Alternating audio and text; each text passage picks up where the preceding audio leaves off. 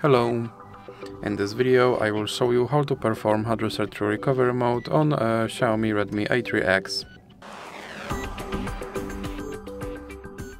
So you have to start by powering off your device.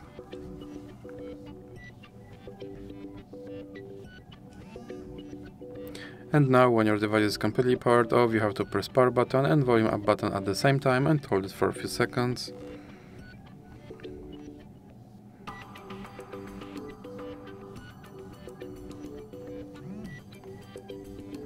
And you can let go of power button when you see logo on your screen.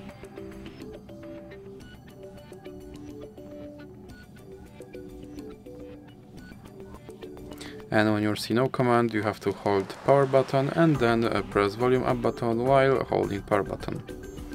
And as you can see I'm now in recovery mode and here you have to use volume buttons to move to wipe data and factory reset and then press power button to select, then move to factory data reset and press power button. Now press power button on reboot system now.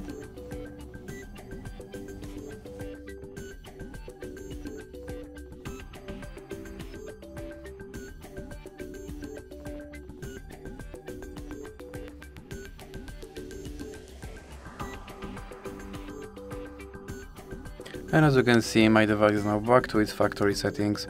So, that's it for this video. If you liked it, please remember to leave like and subscribe.